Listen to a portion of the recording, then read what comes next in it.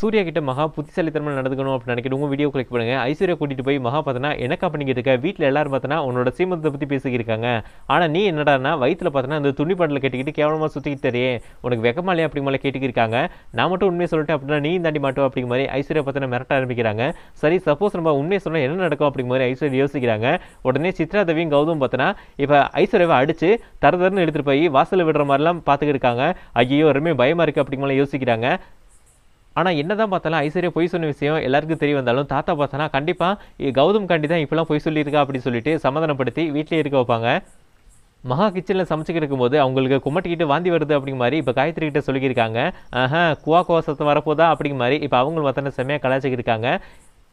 அட போங்க சின்ன சின்னத்தை நீங்கள் வேறு அப்படி சொல்லிட்டு வெக்கப்பட்டுட்டு போகும்போது இப்போ எதார்த்தம் பார்த்தோன்னா சூரிய வராரு. அப்படியே பார்த்தோன்னா சூரிய மேலே இடிச்சு கீழே விழுந்துறாங்க. ரெண்டு பேரும் பார்த்தோன்னா ஹக் பண்ணி ஒருத்தர் ஒருத்தர் மேலே ஒருத்தனா உருண்டுக்கிறாங்க. இதெல்லாம் பார்த்துட்டு எல்லாரும் பார்த்தோன்னா இவங்களுக்குலாம் ரொமான்ஸுக்கு அளவே கிடையாதா அப்படி சொல்லிட்டு பகமாக கலாச்சிக்கிருக்காங்க